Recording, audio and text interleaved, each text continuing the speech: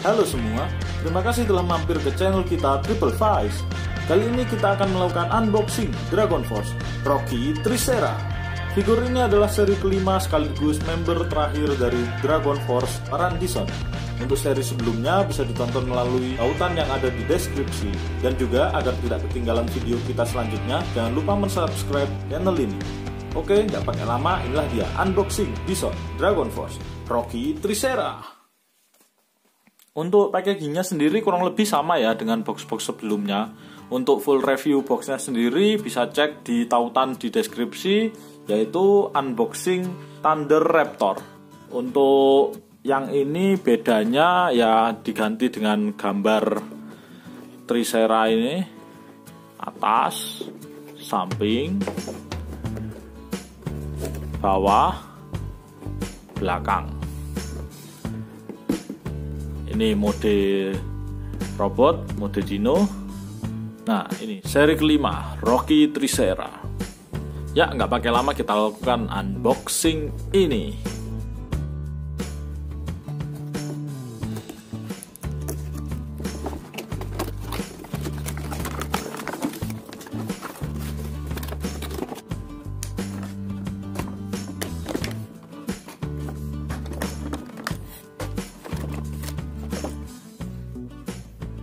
Dari unboxing kali ini kita dapat satu figur Rocky Trisera dan satu Ultraman. Untuk Ultramannya sendiri sudah kita bahas sebelumnya ya di review Blaze Tyranno. Full reviewnya bisa dicek di tautan deskripsi.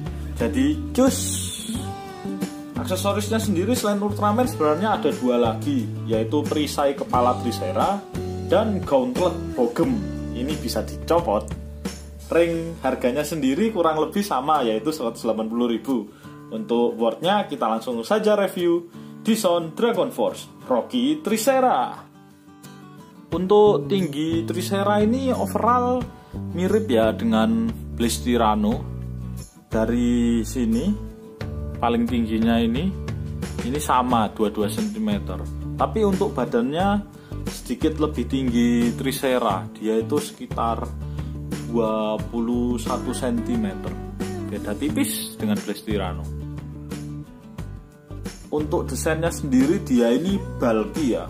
Anggapannya kayak tankernya di tim ini. Lihat badannya kita lihat. Wow besar sekali. Untuk warnanya ini lumayan mentereng ya hijaunya. Dominan sekali. Uh, untuk detailnya bisa kita lihat untuk kepala ini cukup unik ya mirip-mirip dengan yang sebelum-sebelumnya, tapi sangat berbeda karena seperti ada mahkotanya di sini. Hmm, detailnya mantap, catnya juga oke, catnya rapi, untuk badannya ini ngotak gini ya, ya karena bulky biar terlihat bahwasannya dia ini tankernya di tim ini.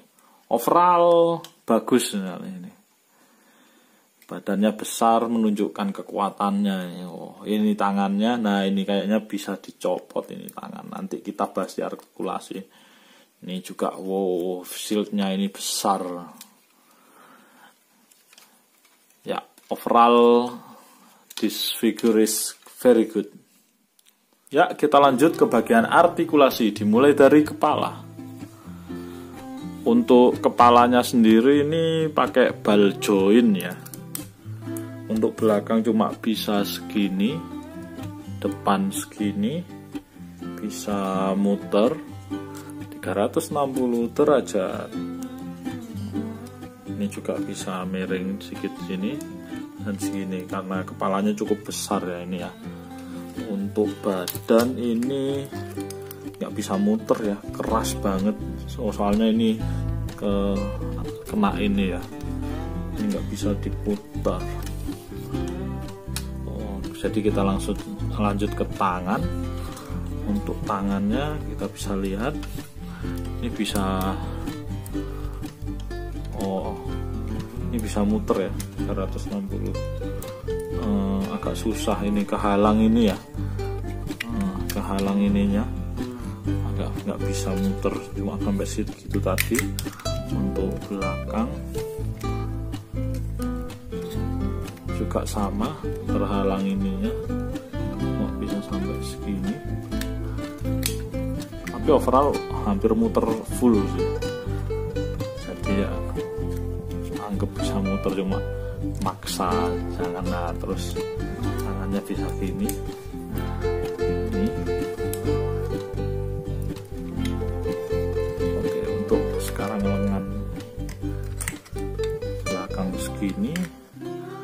depan segini. Ini joinnya kok kayak dua ini. Oh bukan ini join kaki ternyata. Beda. Ini nanti pas dino. Terus ini tadi gauntletnya ya. Ini equip. Harusnya bisa dicopot. Oh ya ini seperti ini. Sementara kita copot dulu. Kurang lebih yang sebelah sini juga sama ya copot ininya. Nah seperti ini. Ini bisa diputar nanti pas bikin robot dinonya versi dinonya ini putar. Nah, lebih tawa tangannya. Nah tanpa equip. Seperti ini ya tampilannya. Oke sekarang lanjut ke kaki. Kaki depan um, agak berat ya ini coba pakai yang sebelah sini. Karena besar terhalang ini ya. Cuma bisa segini. Susah ini. Kalau belakangnya ini terhalang ini ya. Coba kita tekuk. Hmm, masih terhalang agak susah. Sementara cuma sampai segitu ini bisa miring segini ininya ada halang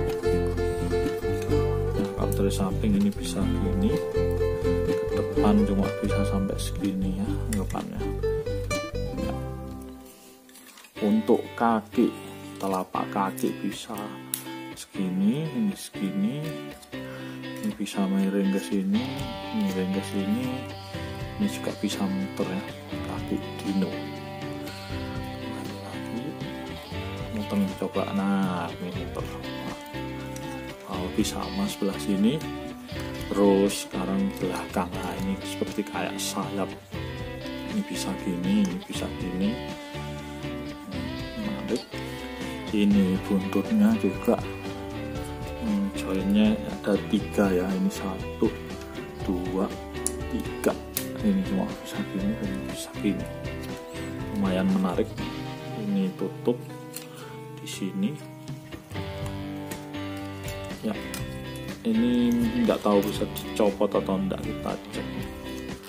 Hmm, nggak bisa kayak oh ya nggak bisa. Ini fixed ya. Dibaut soalnya. Uh, maaf tadi ada yang sedikit terlewat. Untuk artikulasinya yang tangan ini bisa diputar ya. Jadi 360 derajat. Kaki juga demikian yang sebelah sini ini juga bisa diputar.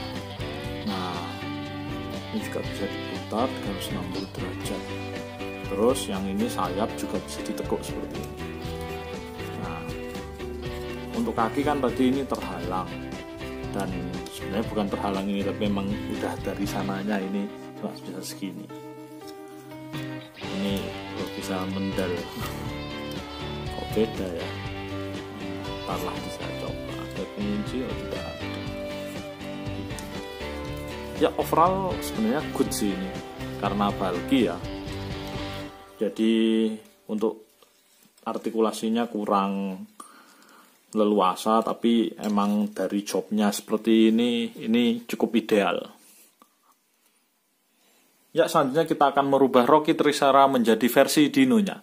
Untuk perubahannya sendiri tidak ada manual jadi saya usahakan sesuai gambar yang ada di boxnya ya ya mari kita lakukan perubahan ini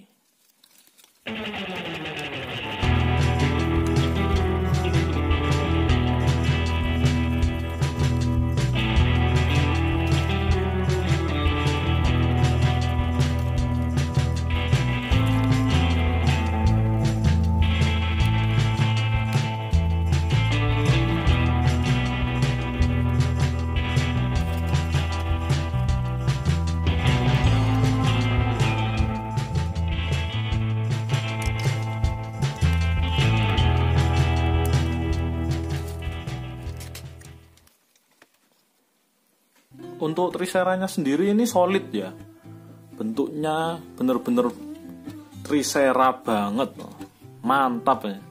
Untuk artikulasinya mungkin kurang lebih untuk tangan kaki ini sama seperti robotnya ya. Mulut ini lumayan sedikit loss lossnya tapi oke okay masih. Nggak apa-apa.